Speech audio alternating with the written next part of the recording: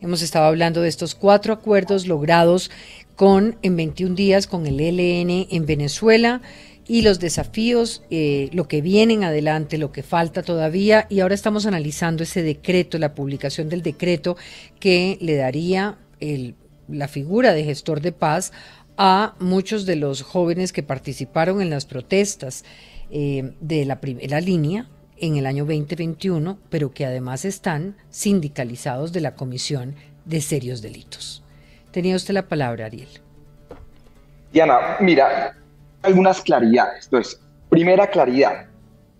la categoría, esto es la ley, la la ley de orden público, artículo quinto, parágrafo primero, donde se crea la figura de voceros, que es diferente a la, a la de gestores de paz.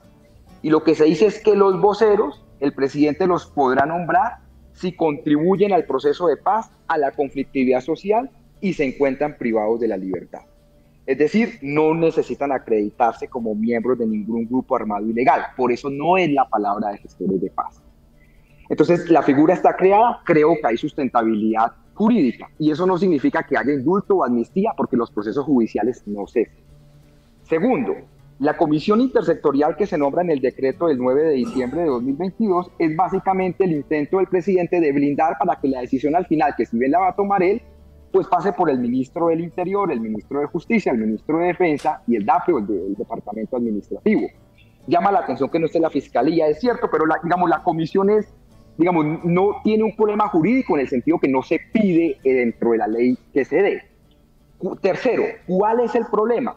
Que derivado de la entrevista que hizo el presidente de la Corte Suprema, lo que uno ve es que va a haber un choque de trenes.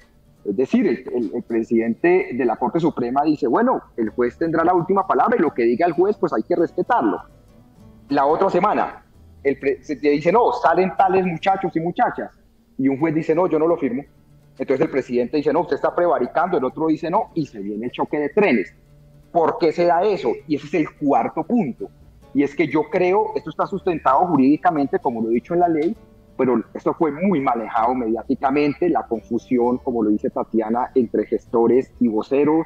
Después decía, no, pero los que están ya judicializados por delitos graves, esos no salen, pero los otros sí. Fue muy, maneja, muy mal manejado y ya estamos en un punto donde el presidente de la Corte Suprema no se puede echar para atrás y el presidente de la República tampoco. Entonces, ¿qué preveo yo? Que la otra semana vamos a tener un gran choque de trenes. ¿Qué solución ve?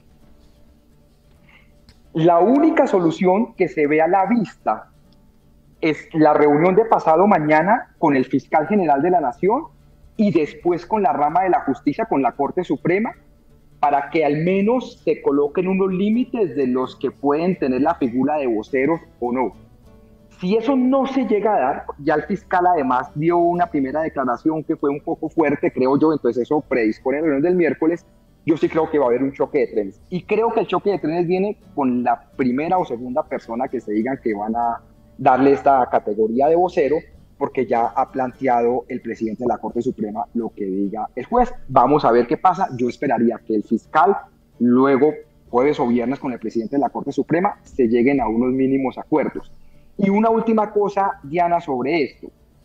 Eh, dice, no, es que esto fue, un, esto fue una promesa de campaña. Sí, fue una promesa de campaña es que si bien hemos sacado gente que son guerrilleros... Pues es que las promesas de campaña tienen que tener un aterrizaje en lo legal, en la oportunidad, en, la institucionalidad. Claro, y lo otro es que no, que eso ya se ha hecho con guerrilleros y paramilitares, claro, pero en, los, en el marco de acuerdos de paz. Es decir, aquí se tiene que entender los sectores que están más afines a esto, que sí es una figura nueva, o sea, esa figura de que voceros, integrantes de organizaciones sociales y humanitarias que el presidente de la República considere pueden aportar al proceso de paz a la conflictividad social es una figura nueva. Y por ende uno no puede decir que sea tan fácil como hacerla. Lo cierto es que sustento jurídico sí tiene, pero muy mal manejado mediáticamente. Yo quisiera preguntarle al senador qué aporte, y quiero reiterar mi pregunta, porque ¿cuál es el aporte que van a hacer los de la primera línea al proceso de paz y a qué proceso de paz? Y, y además, queda una, situación, un estatus indefinido de cuáles serán los límites para, en, el caso de los sindicados, el levantamiento de las medidas de aseguramiento y me imagino que en el caso de los condenados de la suspensión de la ejecución de su pena. Lo que es claro y responderle concretamente, en la ley no está qué van a aportar y pueden aportar al proceso de paz o a la conflictividad social, no necesariamente solo al proceso de paz. No está claro en la ley. En el decreto no está claro. Y que yo sepa el momento que si ando metido en esto, no tengo ningún manual que se esté discutiendo. Eso lo tendrá que dar la comisión. Es decir, eso tendría que estar la próxima semana si es que se quieren comenzar con las escarcelaciones rápidamente y se tendrá, se tendrá que conocer, la tendrá que conocer el país, pero al momento no está claro cómo aportan, dónde aportan, por cuánto tiempo aportan y quién supervisa. Digamos, si fueran voceros de grupos armados, tendrían que tener el aval de esos grupos. También ahí hay como... Diana, la figura de vocero, que no es vocero de alguien, se crea en esta ley y no tiene que tener acreditación o membresía de un grupo armado. Pero igual, igual no incrementa la narrativa de que son afines a esos grupos.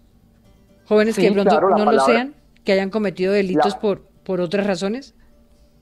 De acuerdo, la palabra vocero genera una gran confusión y más aún con la de gestores de paz que durante el día de ayer y el día de hoy miembros del gobierno hicieron la confusión y no la debida aclaración pero en, dentro de la ley no se tiene que acreditar membresía a un grupo armado ilegal o organización criminal.